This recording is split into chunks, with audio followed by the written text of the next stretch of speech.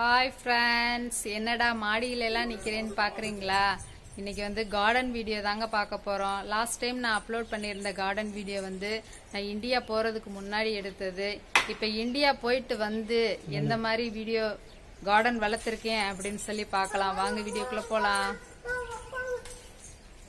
மறுபடியும் மலையவே காமிச்சிட்டு இருக்கேன் அப்படின்னு பார்க்குறீங்களா இந்த சைடு மலையிலலாம் பார்த்துருப்பீங்க. சுத்தமாக மழை பெய்யலைங்களா? எப்படி இருக்குது ஆனால் இங்கே பாருங்க இந்த சைடு உள்ள மலையில் மட்டும் மழை பெஞ்சிட்டு இருக்கு எவ்வளோ அழகாக இருக்குது பார்த்தீங்களா? பார்க்கவே சூப்பராக இருக்குங்க. அந்த மலை வந்து ஒரு ரெண்டு மலை சேர்ந்து இணையிற இடம் அந்த பள்ளம். அந்த பள்ளத்தில் எப்போதும் மழை பெஞ்சிட்டே இருக்கும். சொட்டாவது வைக்குங்க. அதிகமாக மழை பெய்யலை அப்படின்னாலும் சொட்டாவது வைக்கும். பார்க்கவே சூப்பராக இருக்குல்ல? சரி உங்கள்கிட்டையும் காமிக்கணும்னு தோணுச்சுங்க. அதான் அப்படியே லைட்டாக ஒரு கிளிப்பிங்ஸ் எடுத்தேன். ஃப்ரெண்ட்ஸ் இதுக்கு முன்னாடி பார்த்துருப்பீங்க. இப்போ மழை பெருசாக பேஞ்சு நம்மளை நோக்கி மழை வந்துக்கிட்டே இருக்குது அதுக்குள்ளார குயிக்காக நம்ம கார்டன் வீடியோ எடுத்துட்டு கீழே போயிடலாம் வாங்க இப்போ கார்டனுக்குள்ளே போகலாம் லாஸ்ட் டைம் ஒரு கார்டன் வீடியோ பார்த்துருப்பீங்க. அது வந்து நான் இந்தியா போகிறதுக்கு முன்னாடி எடுத்த என்னோட கார்டனுங்க இப்போ இந்தியா போயிட்டு வந்து நான் பிப்ரவரி ஃபர்ஸ்ட் இங்கே வந்தேன். இங்கே வந்த உடனே ஆரம்பித்த என்னோடய கார்டன் பாருங்கள் இப்போ தான் எல்லாமே ஒரு ஸ்டேஜில் இருக்குது இன்னும் எதுவுமே காய் வரலை. இப்போ தான் எல்லாம் பூ வந்துட்டுருக்கு. புதினா பாருங்க. எவ்வளோ அழகாக வளர்ந்துருக்கு பார்த்தீங்களா இது வந்து இங்கே ரெண்டு மூணு விதமான புதினா இருக்குங்க. இது பாருங்க. இது ஒரு புதினா. அடுத்து இது ஒரு புதினாங்க. இது பார்த்தீங்களா உங்களுக்கே வித்தியாசம் தெரிஞ்சிருக்கும். இது எப்படி இருக்குது இது எப்படி இருக்குன்னு. ரெண்டு டிஃப்ரெண்ட்டாக இருக்கும். இது வந்து கொஞ்சம் காரமாக இருக்கும். ராவா சாப்பிட்டா இது காரம் இல்லாமல் இருக்குங்க. இதில் வந்து கத்திரி செடி ஒன்று தானாக வந்துச்சு. சரி ஓகே அதை அப்படியே வரட்டும்னு விட்டுட்டேன். இது வந்து இந்த தொட்டியில் வந்து ஒரு வருஷத்துக்கு முன்னாடி இஞ்சி வச்சுருந்தேன். அதை பறிச்சிருந்தேன். அதோட வேர் இதில் இருந்திருக்கும் போல் அந்த வேர்லேருந்து இஞ்சி வளர்ந்து வந்துட்டுருக்கு. சரி ஓகே வளரட்டும். அப்படியே விட்டுட்டேன். அடுத்து பார்த்தீங்கன்னா அப்படியே இப்போ தான் மிளகாய் செடி வச்சுருக்கேன். இப்போ தான் பூ வந்துட்டுருக்கு. ஒன்று ரெண்டு பூ தாங்க வந்திருக்கு. இங்கேயும் மிளகாய் செடி தான் கத்திரி செடி. இப்போ தான் வந்து மொட்டு வந்துக்கிட்டு இருக்கு பூ மொட்டு. வளர்ந்து வந்து கத்திரிக்காய் காய்க்கும் போது கண்டிப்பாக உங்களுக்கு காமிக்கிறேன். இதில் வந்து இதில் தாங்க கத்திரி நாற்று போட்டு வச்சுருந்தேன். அதில் வந்து எல்லாம் பறித்து நட்டு வச்சுட்டு இதில் ரெண்டு செடி அப்படியே இதுலேயே வளரட்டும் அப்படின்னு விட்டுட்டேன். இங்கே வந்து ஒரு தொட்டியில் மிளகாய் வச்சுருக்கேங்க.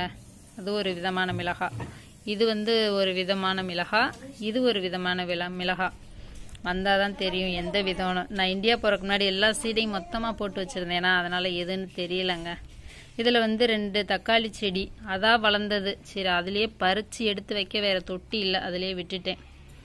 அதுலேருந்து ஒரு நாற்று எடுத்து இதில் வச்சேன். மழைக்கு வந்து காற்றுக்கு ஒடிஞ்சு போச்சு.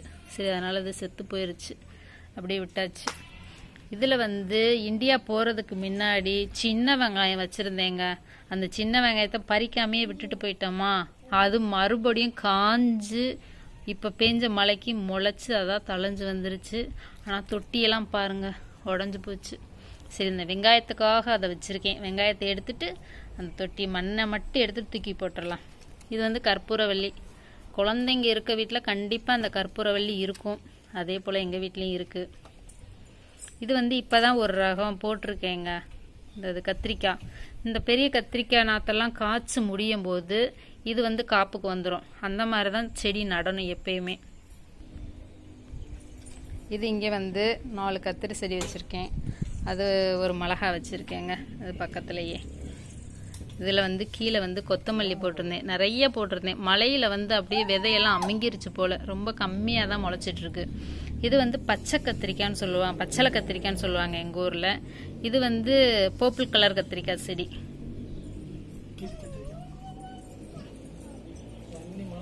இது வந்து யாரோட செடினா? இது என்னோட பையனோட செடிங்க. இது வந்து ப அதாவது குழந்தைங்களுக்குன்னு வந்து ஒரு சில பாட்டெல்லாம் கொடுத்து நீங்களே நடுங்க அப்படின்னு சொல்லி பழக்கணும். இது பையன். எனக்கே தெரியாமல் ஒரு கார்லிக்கை திருடிட்டு வந்து நட்டு வச்சுருக்கான். அது இந்த கார்லிக்கு இது வந்து யாருதுன்னு பார்த்தீங்கன்னா பாப்பாலோடது இது பர்பிள் கலர் கத்திரிக்காய் செடி. அது பார்த்தீங்கன்னா கொத்தமல்லி. இது வந்து இந்தியா போகிறதுக்கு முன்னாடி நிறைய கார்லிக் வச்சுருந்தேங்க. அந்த கார்லிக்கெல்லாம் வந்து அது வளர்ந்து வந்து ஒரு ஸ்டேஜில் தண்ணி ஊற்றாமல் செத்து போயிடுச்சு. மறுபடியும் அதிலிருந்து வந்து தளைஞ்சு வந்துருந்துச்சு. சரி நான் இங்கே வந்தோன்னே பார்த்தப்ப நல்லா தளைஞ்சிருந்துச்சா? அதனால் விட்டுருக்கேன் பார்த்தீங்களா கார்லிக்லாம் எப்படி வந்திருக்குன்னு.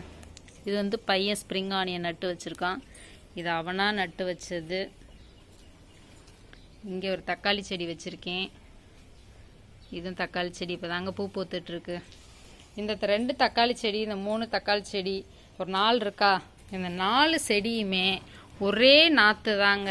ஆனால் இந்த செடி மட்டும் எவ்வளோ பூ விட்டுருக்கு அப்படின்னு பாருங்கள் ரீசன் என்ன அப்படின்னா இந்த செடிக்கு நான் என்ன உரம் கொடுத்தேன் அப்படின்னா ஒரு அதக்காடோ பழம் வந்து அழுகி போயிருந்துச்சு. ஒரு அண்ணா எங்களுக்கு கொடுத்தாங்க. அது அழுகி போயிருந்தது. மழை பெய்கிறதுனால மழை அதிகமாக பெஞ்சிட்ருக்கனால சரி அது மில்க் ஷேக் போடலான்னு வச்சுக்கிட்டே இருந்தேன் அந்த பழத்தை. அப்படியே அழுகி போயிருச்சுங்க. சரி அந்த பழத்தை வேஸ்ட் பண்ண வேணாம் அப்படின்னு சொல்லிட்டு இங்கே வந்து லைட்டாக மண்ணை கிளறி விட்டு அந்த பாதி பழத்தை இந்த செடிக்கும் இன்னொரு பாதி பழத்தை இந்த செடிக்கும் தூரில் போட்டு விட்டுருந்தேன். ஆனால் அந்த பழ அந்த பழம் அழுகி அழுகி அதோட சாரெல்லாம் அந்த வேரில் போய் இறங்குங்களா? அதெல்லாம் உறிஞ்சி இந்த செடி அவ்வளோ செழிப்பாக வந்திருக்கு. உங்களுக்கு பார்த்தாலே தெரியும். இந்த கத்திரி செடிக்கும் எல்லாம் ஒரே செடி தான் இந்த செடிக்கும் எவ்வளோ வித்தியாசம் இருக்குது பார்த்தீங்களா நீங்களே தெரிஞ்சிருப்பீங்க. நீங்களும் அவக்காடோ தான் போடணும் அப்படின்றது இல்லை. அவக்காடோ பழம் தான் போடணும் அப்படின்றது கிடையாது. உங்களுக்கு என்ன பழம் கிடைச்சாலும் சரி அழுகி போன எந்த ஒரு பழங்கள் காய்கறிகள் எதுவாக இருந்தாலும் செடி தூரில் வந்து லைட்டாக மண்ணை கிளறிட்டு போட்டு வச்சிங்க அப்படின்னு சொன்னால் சூப்பராக இருக்கும்.